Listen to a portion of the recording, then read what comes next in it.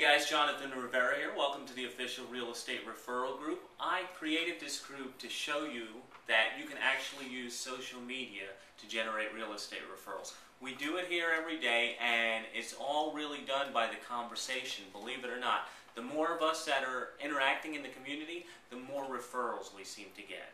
So if you're an agent looking to use social media to generate more business, you came to the right place. What you'll find in the group is agents sharing referrals, agents looking for referrals, and lots of great information on marketing, real estate trends, and how to use social media. For those of you new to social media, I recommend you pick up our free report, The Seven Common Mistakes Every Realtor Makes Using Social Media, and all you have to do is fill out your name and email address on the form right there, and we'll send you a report over. And to take a tour of the group, just click the button below this video.